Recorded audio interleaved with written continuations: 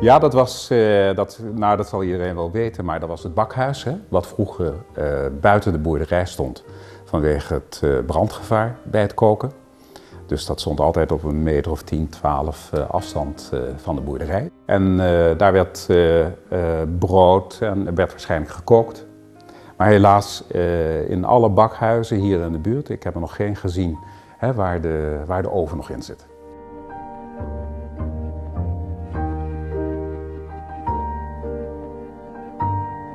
Dit was een, eh, van het landgoed Twikkel.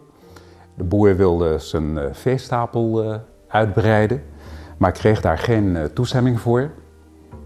En eh, ehm, heeft toen het varkenskot wat hij aan het bakhuisje wilde aanbouwen, heeft hij maar om de boom heen gebouwd. En inmiddels zijn we weer 100 jaar verder. En is het een eh, enorm ding en is er eigenlijk geen ruimte meer. Je kan nu ook eh, niet meer no- normaal naar binnen eigenlijk. Ja.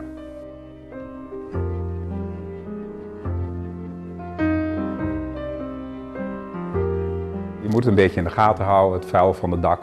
En er komt natuurlijk waanzinnig veel eh, uit die boom. Hè. Soms takken, of, maar in het najaar de bladeren, dat moet je een beetje schoon houden. En in de gaten houden dat die, dat die dakpannen een beetje blijven aansluiten rond, eh, rond de boom. Ja.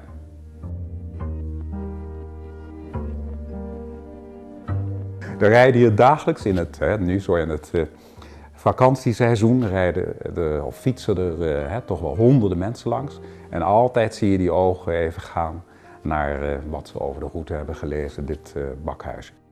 Als je op een mooie plek woont, dan is dat leuk voor jezelf, maar het is nog mooier als je dat een beetje met andere mensen kan delen.